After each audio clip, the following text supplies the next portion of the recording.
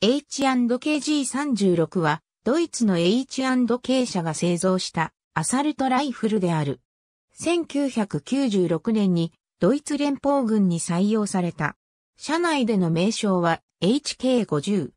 1970年代、ドイツ連邦軍は H&KG3 の後継に関する要求を出し、H&K 社は独創的な機構を組み込んだ H&KG11 の開発に着手する。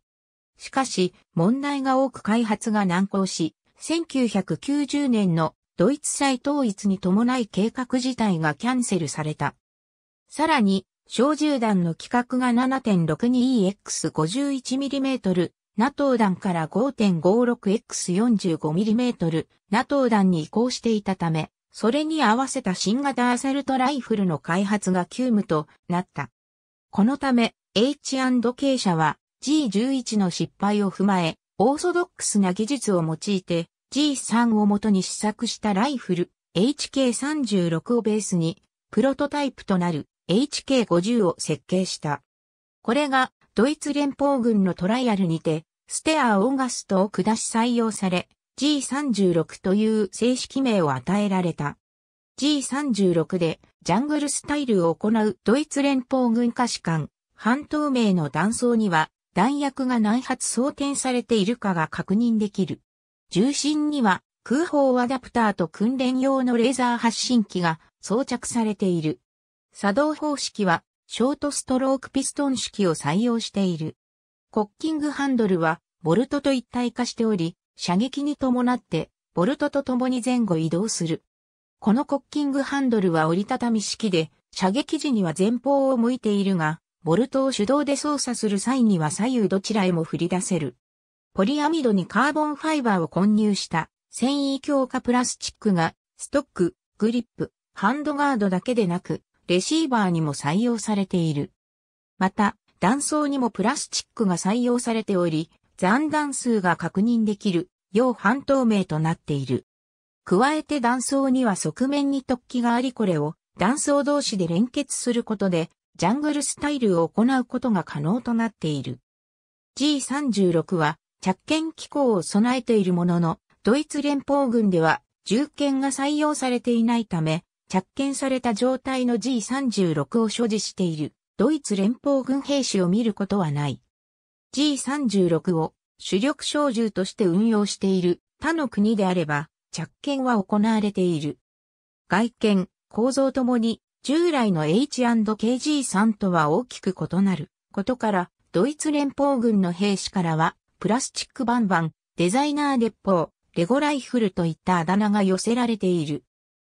小順機は、キャリングハンドルと一体化した3倍スコープ及び、スコープ上部の当倍ドットサイトが標準となっているが、ドットサイトは、寒冷地や高湿度下では曇って不評であったため、G36A に及び G36 カニでは、ピカティニーレールに置き換えられ、そこにカールツァイス社製、ダットサイトなどを載せるように変更されている。旧型の輸出用モデルである G36E、G36 系では、スコープのみで、ダットサイトやピカティニーレールは付属しない。キャリングハンドル上辺の簡易的なアイアンサイトは、輸出用モデルでのみ使用可能であり、ドイツ連邦軍モデルでは、ダットサイト、またはピカティニーレールに阻まれ使用できない。キャリングハンドル上部に装着できるヘンゾルト製 NSA80 第3世代暗視装置が用意されており、標準のスコープに暗視能力を付与できる。G36C は標準では光学照準器を装備しない代わりにピカティニーレールとアイアンサイトを装備し、別途光学照準器を装着する。H&K 社は土に埋めた G36 を掘り出し、軽く土を払った程度で射撃を行うといったデモンストレーションを行うなど、過酷な条件下での作動の確実性をアピールしている。また、10分以内であれば、水中につけても射撃に支障はないとされる。一方、実戦配備の過程でアフガニスタンに派遣されたドイツ兵から重心の温度が上昇すると命中精度が落ちるとの苦情が出された。後にドイツ連邦軍技術研究所が命中精度の下落は連続射撃による重心の加熱が原因つまり自動小銃本体側に問題があると結論を出していたことなどが後にシュピーゲル氏の報道などにより判明し、ドイツ国防省は2014年6月に G36 の発注を停止する措置を行った。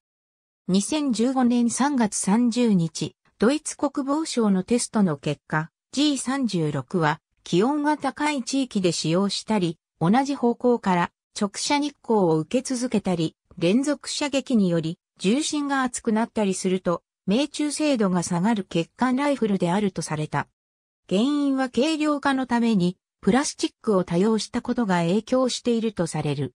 また、特定のメーカーが製造した弾薬を使用すると、銃の蓄熱が激しく、命中精度が低下するとの説もある。この結果を受け、ドイツ連邦軍は G36 の使用を制限し、後継銃として H&KHK417 などを候補に考えていると思われる。一方、メーカー側は軍のテスト結果を否定している。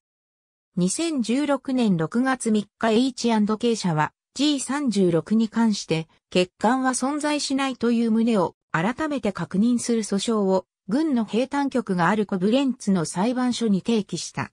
2016年9月2日に判決が下り、H&K が勝訴した。国防省は同日付で判決に不服として控訴するとしている。SL8 から5現在、ドイツだけでなくヨーロッパの軍隊や法執行機関、アメリカのスワットなどで採用が進んでいる。ありがとうございます。